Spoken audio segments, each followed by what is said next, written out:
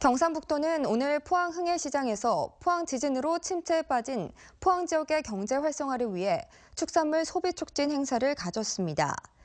오늘 행사는 포항 축협, 대구 경북 양동 농협, 대한 양계협회 대구 경북도 지회와 함께 지진 피해가 가장 큰 흥해시장에서 열렸습니다.